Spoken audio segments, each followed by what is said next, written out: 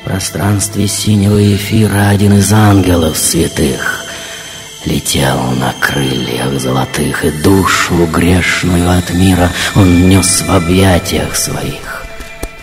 И сладкой речью упования ее сомнения разгонял, И след проступка и страдания с нее слезами он смывал.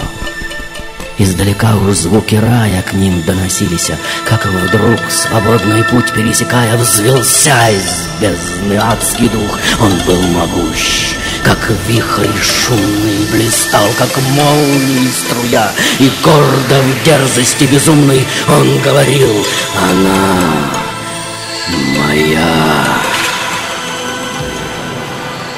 груди хранительной прижалась молитвой ужас заглуша Тамары грешная душа Судьба грядущего решалась Пред нею снова он стоял Но, Боже, кто б его узнал Каким смотрел он злобным взглядом Как полон был смертельным ядом Вражды, не знающей конца И веяло могильным хладом от неподвижного лица. «Исчезни!»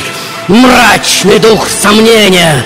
Посланник неба отвечал Довольно ты торжествовал! Но час суда теперь настал И благо Божие решение! И ангел строгими очами на искусителя взглянул И радостно взмахнув крылами в сиянии неба потонул.